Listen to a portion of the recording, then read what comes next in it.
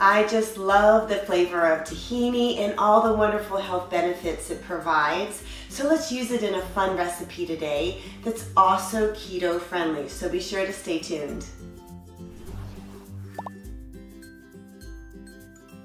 Welcome back, my friends, to the Organixx channel. My name is Katrina. I love being here with you every week. We create these delicious and healthy recipes together.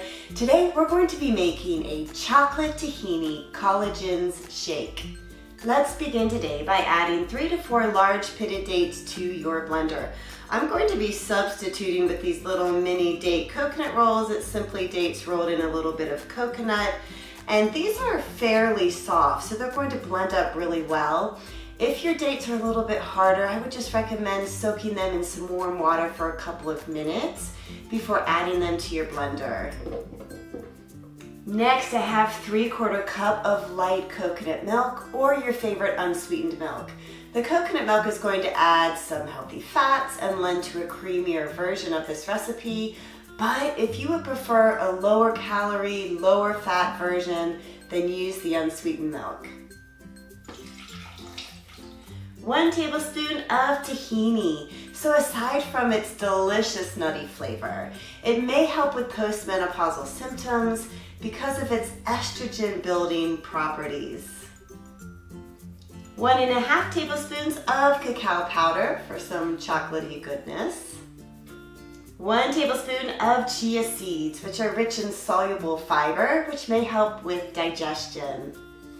One tablespoon of our tasteless Clean Source Collagens powder, which is third-party tested for glyphosate, heavy metals, and pesticides. I love this stuff. One quarter teaspoon of pink Himalayan or sea salt for some essential trace minerals and about a 16th a teaspoon of cayenne pepper for just a little bit of heat. For fun, I have five coffee ice cubes, which is simply coffee that I brewed last night, poured into my ice cube tray and then stuck in the freezer. You certainly could use regular ice cubes here too. And this is about one half of a cup of coffee here that I'm using. Blend up all of your ingredients until smooth Add in more ice for a thicker consistency and more milk for a thinner shake. This chocolate shake is ready for a taste.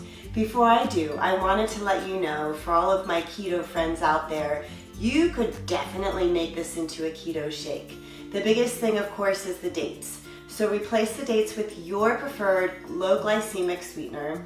You may also want to add in an additional tablespoon of tahini for flavor, and you'll want to use full fat coconut milk. You may also need to add in a few more ice cubes just for the consistency, but I bet it would be so good. So, give her shall we?